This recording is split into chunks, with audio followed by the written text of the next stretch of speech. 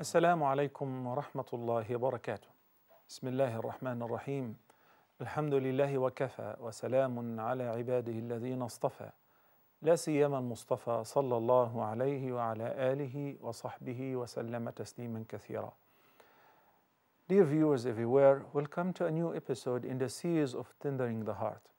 We started this series by explaining some of these beautiful ahadith which Imam al Bukhari, may Allah have mercy on him, collected in the book of Al Riqaq or How to Make Your Heart Tender and Soften Your Heart. Today, inshallah, we'll begin a new chapter in the same book, which is combination between hope and fear. I'll begin this chapter by a hadith, which is Al Imam al Bukhari have collected, and it is narrated by Abu Hurairah, may Allah be pleased with him. عن أبي هريرة رضي الله عنه قال: سمعت رسول الله صلى الله عليه وسلم يقول: إن الله خلق الرحمة يوم خلقها مئة رحمة فأمسك عنده تسعا وتسعين رحمة وأرسل في خلقه كلهم رحمة واحدة. فلو يعلم الكافر بكل الذي عند الله من الرحمة لم ييأس من الجنة. ولو يعلم المؤمن بكل الذي عند الله من العذاب لم يأمن من النار Abu Hurairah, may Allah be pleased with him, narrated that the Prophet wasallam said, Verily Allah created mercy. The day He created it, He made it into 100 parts. He withheld with Him 99 parts and sent only one part to all His creatures. And had the non believer known all the mercy which Allah subhanahu wa ta'ala have withheld with him in his hands, he would not lose hope of entering paradise, even though he is a non believer. And had the believer known of all the punishment which is present with Allah, he would not consider himself safe from the fire of hell. The hadith addresses several things. The very prominent address in the hadith is the vast mercy of Allah subhanahu wa ta'ala. And how merciful is Allah the Almighty. Mercy is one of His beautiful traits. And sometimes when we speak about human beings as merciful, we may think that this person is merciful like he's weak. No, Allah the Almighty maintains the traits of power, of strength. He is the most powerful, He is the most merciful as well. So, this trait of mercy does not diminish His power the least or belittle any of His strength, but He maintains both. The hadith also says that when Allah created mercy, He divided it into 100 parts. He withheld with Him 99 parts. What for? So that on the day of judgment and during reckoning, the believers who need some help and who will be eligible for the intercession will get it. And Allah will have mercy on them. Then accordingly, they will enter paradise via Allah's mercy alone. If you remember, a couple episodes back, we spoke about a hadith in which Prophet Muhammad, peace be upon him, said that most surely none of you shall enter paradise simply because of his or her good deeds. They said, Even you, O Prophet of Allah. He said, Even me, unless if Allah covers me with His mercy. And we did explain the meaning of this hadith in details, especially the last segment. So, out of this huge mercy and vast mercy of Allah subhanahu wa ta'ala, He will make the believers who are full of shortcomings and have sinned a lot, but they are believers. They believe in the oneness of Allah, will make them eligible to be saved, to receive salvation, and enter paradise. This is indeed the greatest news. There are so many ahadith describing that when Allah sent down on earth only one part out of 100 parts of His mercy, Out of this one part, we love one another, we have mercy on each other, we pardon each other, and out of this one part, a mother looks after her baby, breastfeeds him, and whenever he's sick, she keeps up all night long, and she's very merciful with her baby. Not only the human beings, because they comprehend what they are doing, but also the animals. Several ahadith explain out of this one part, even the wild animals left their house from their babies. Because imagine a lion or a desert or any of those wild animals when they have babies they're wild but they comprehend that those babies are theirs so they defend them even they, be, they, they, they behave violently and aggressively with other animals but when it comes to their babies they're very merciful so they bring them food, they look after them until they're capable to rely on themselves in earning their provision, and so on. In a specific hadith, the Prophet ﷺ mentioned the horse. It left its hope from its baby. The horse is a very hyperactive animal, but it comprehends that's my baby. Why? All the mercy and the merciful treatment all over the earth, in the entire world, is simply because of this one part of Allah's mercy, which He sent down amongst us in this life. So I want you to imagine if this is the case, and out of this one part, Allah the Almighty is having mercy and giving respite to the non believers, those who accuse Him of having a child, of having a son, of having a wife, of having partners in the Lordship and in the worship, but He gives them respite and He still provides for them, and He still answers their call whenever they're sick and they say, Oh God, give me shifa, make me recover, make me feel better, even though they are non believers. You know, even those who don't believe in the existence of God, if we're all flying while airborne, if the flight experiences some air palms, what happens? Everybody automatically, everybody says, Oh my God, oh my God. Who is God? He's the only God. So He saves us while airborne, while sailing in the middle of the oceans and the seas, and while walking on earth. He saves us from dangers. He sustains for us. He maintains our life. And amongst us, or the vast majority of the human beings, believe not in His oneness. All of that out of this one single part of 100 parts of His mercy. So, this statement would show you how much mercy Allah the Almighty have saved for the believers on the day of judgment. Once before, we had a chance to speak about the combination of using the two names of Allah in Al Basmala. And in the first ayah of Surah Al Fatiha, Al Basmala is to recite Bismillahir Rahmanir Rahim. The word Ar Rahman is merciful, most merciful. Ar Rahim, likewise. But of course, if you know Arabic, you will figure out the difference between Ar Rahman and Ar Rahim. Yes, both are derived from the root word mercy or rahmah. But Ar-Rahman provides a specific meaning, different than Ar-Rahim. Ar-Rahim is very specific. It is specific for the believers. So His mercy, which will be continuous in this life and in the hereafter, will be exclusively for the believers. And His mercy, which covers every one of His creatures, believers and non believers, He utilizes the word Ar Rahman, and that's why sometimes they give the English meaning as the gracious and the beneficent. Because everybody is beneficiary and benefiting from His mercy, even if they were not believing in Him. But as far as His rahmah and His mercy, which is very vast, which will be continuous, through which, insha'Allah, we will receive salvation and enter paradise, Ar-Rahim. Ar-Rahim. In Surah Al-A'raf, in ayah number 156, after Prophet Moses, peace be upon him, repented unto Allah on behalf of his disciples and so on,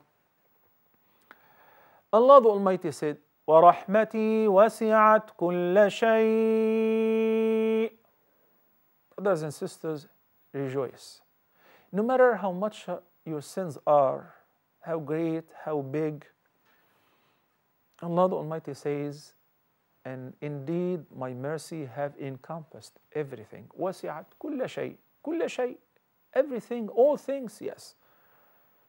فسأكتبها للذين يتقون I shall ordain it for those who fear me and keep their duties to me ويؤتون الزكاة والذين هم بآياتنا يؤمنون and those who give in charity they pay their alms and they believe in my verses may Allah make us amongst them the hadith is talking about the quality of keeping balance between hope and fear. One who does not comprehend the hadith and does not comprehend this ayah which I just mentioned properly, وَرَحْمَتِي وَسِعَتْ كُلَّ شَيْء, will fall in either one of the following two categories. Is either a person who believes that his sins are much bigger than any forgiveness and beyond count, and accordingly he loses hope and he despairs. Said, not a chance. In this regard, Prophet Muhammad وسلم, tells us in a hadith which is narrated by Abu Hurairah, may Allah be pleased with him, that there was a man from the nations before us. أسرف على نفسه. أسرف يعني he exceeded the limits. He's done all the bad things, all the major sins. And at the time of death, he feared the punishment of his Lord. so he requested from his children to do something to him. He said, Whenever I die, make sure that you burn my body. Then collect the ash and on a windy day throw it in the stream. So they did, they fulfilled his will. And soon as they did that, Allah the Almighty gathered all the particles of his body. Then he revived them again. He brought him back to life and said, My servant, why did you do that? He said, Because I was afraid of your punishment. I was afraid of you. So he thought, with his limited understanding, that, that if they burn his body into ash and then it is thrown on a windy day in the stream, it would be like, you know, difficult for Allah to resurrect him again, bring him back to life. But Allah did eventually. And he said, Why did you do that? He said, I was afraid of your punishment. He said, My servant, I have forgiven you all your sins. Why? Sometimes we read a hadith and we don't really, really get the point. The point in this hadith, because this man was a believer. This man believed that there will be reckoning, there will be resurrection, there will be hereafter. And he was afraid that his fate may be in fire because of his multiple sins and magnitude, faults, and so on. And because of that, he thought if his body was burned, then he would be saved. So Allah the Almighty showed him his power and ability of reviving the dead. Then furthermore, he said, My servant, I have forgiven you all your sins. The second category is a person who's a loser and who thinks that he is eligible for Allah's mercy because he said Allah forgives all sins without acquiring forgiveness, without taking the proper means of being forgiven, being eligible for His mercy. Such person is a loser. Why? Because he gives precedence to hope and he neglected entirely the concept of fear. Salvation would require the person to fly with two wings, one of whom is hope and the other is fear. That was the case of all the companions of the Prophet. Even the ten heaven bound companions whom the Prophet ﷺ named them. He said, Abu Bakr fil Jannah, Umar fil Jannah, Uthman fil Jannah, Ali fil Jannah, Abu Ubaid ibn al-Jarrah, Az-Zubayr, etc., etc. He named 10 companions and he said that they will be in heaven. He received the revelation from Allah, they will be in heaven. Not a single one of them sat comfortably and said, That's it. I'll be saved. I don't have to do anything. Rather, they maintain the balance between hope and fear. We'll continue talking about this very important equilibrium after the short break, inshallah. Stay tuned. Assalamu alaikum wa rahmatullahi wa barakatuh, and welcome back. Abdullah ibn Mas'ud, may Allah be pleased with him, said that the greatest ayah in the Quran with regards to hope and optimism, delivering the good news, is the ayah of Surah Az-Zumar. It's ayah number 53.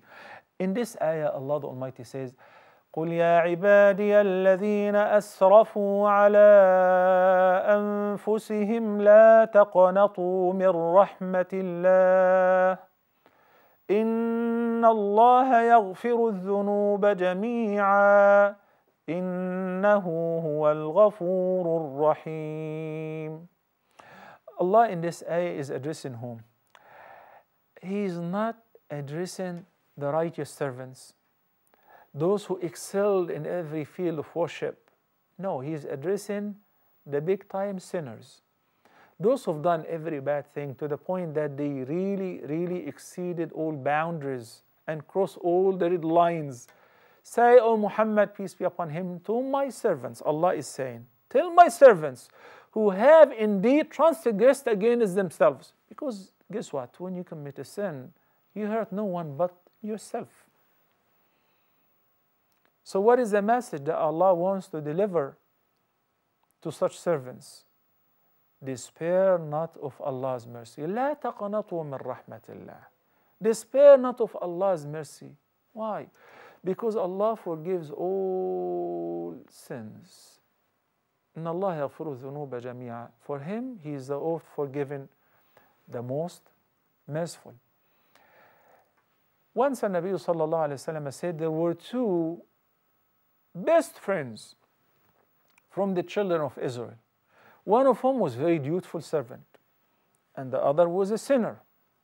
So the righteous one every time advised his intimate friend, fear Allah, keep your duty to Him, you should worship Allah, you should cease sinning, you should quit doing the bad deeds and so on.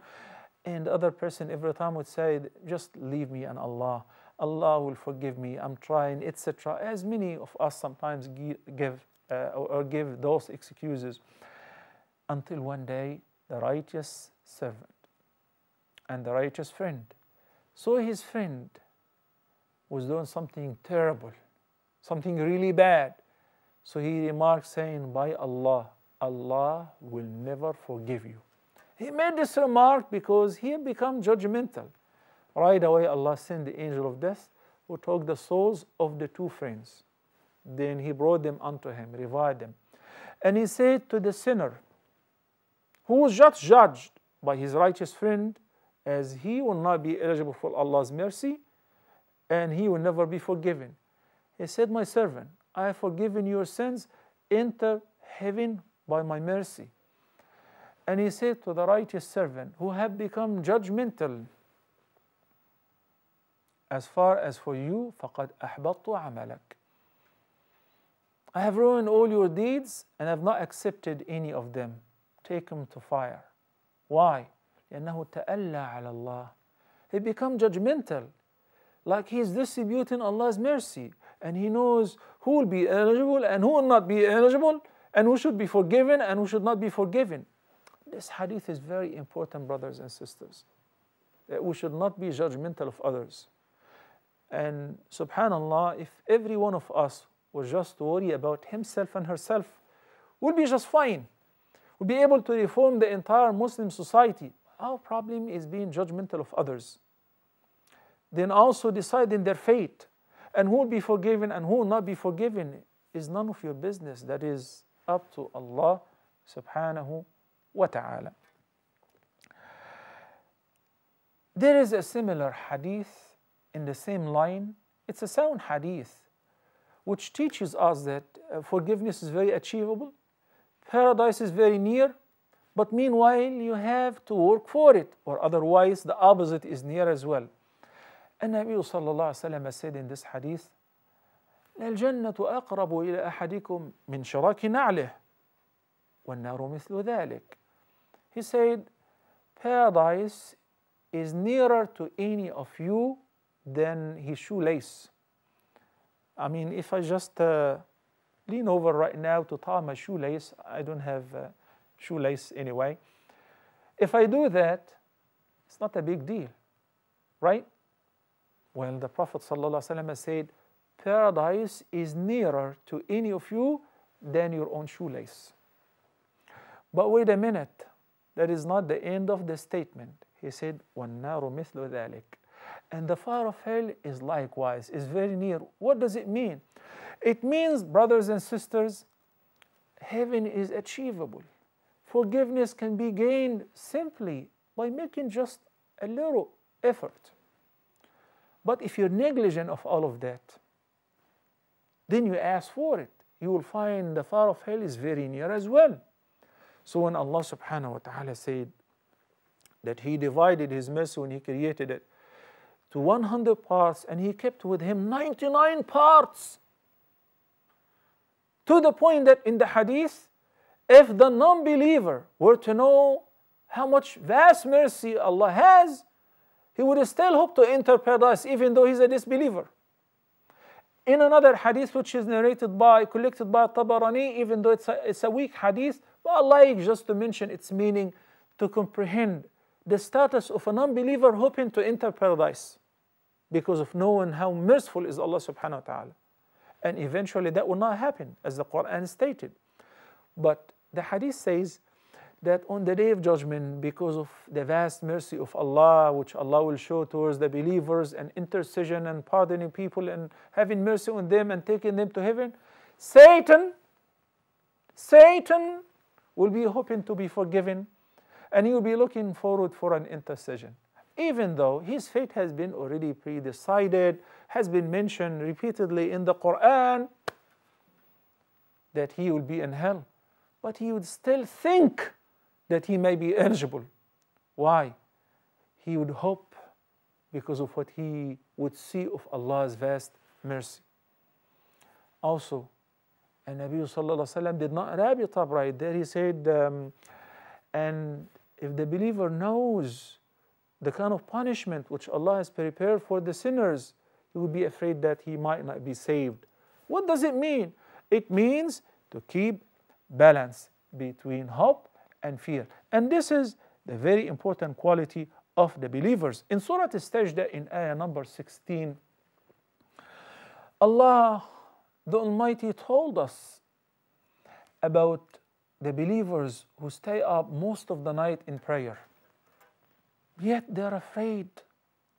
They're still afraid of Allah and His punishment. He said, تتجافى جنوبهم عن المضاجع يدعون ربهم يدعون ربهم خوفا وطمعا ومما رزقناهم ينفقون Their sides forsake their beds. Why? Because they're up praying. يدعون ربهم They're calling on the Lord خوفا وطمعا out of fear and hope beautiful balance and they give in charity out of what we provided them with what is the following ayah فلا تعلم نفس ما اخفي لهم من قره اعين جزاء بما كانوا يعملون no soul knows what has been prepared for them and hidden of a great reward, comfort for their eyes as a reward for what they used to do. So, this is a quality which is praiseworthy, admired by Allah, and the believers are encouraged to behave likewise. To do what? To keep balance between hope and fear. In one hadith, the Nabi said, لا يموتن أحدكم إلا وهو يحسن الظن بالله. None of you should die but while expecting good from Allah, hoping for mercy and to be forgiven. Why? Because this is at the time of death. That's it. You're done working and you're wrapping up your life. Uh, once Prophet Muhammad, peace be upon him, visited a young man, Shabban, who was about to die. While lying down on his deathbed, he asked him, كيف تجدك? How do you feel? How do you find your heart? What do you think? He said, Ya Rasulullah, أرجو الله وأخاف ذنوبي. He said, I hope Allah will forgive me. I'm still afraid of my sins. The Prophet ﷺ said, لا يجتمعان في قلب عبد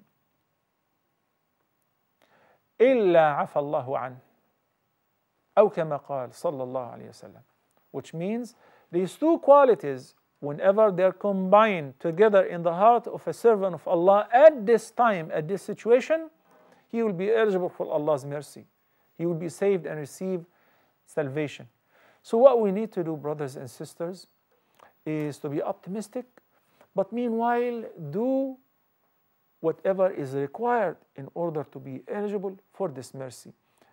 In ayah number 48 of Surah An-Nisa, Allah the Almighty says, إن الله لا يغفر أن يشرك به ويغفر ما دون ذلك لمن يشاء Allah does not forgive certain partners to Him in worship, but yet He forgives any sin lesser than shirk. This is out of His vast mercy. May Allah the Almighty have mercy on all of us, forgive us our sins, accept our repentance, and make us steadfast on the straight path until we meet Him safely as believers. Ameen. Until next time, Assalamu alaikum wa rahmatullahi wa barakatuh.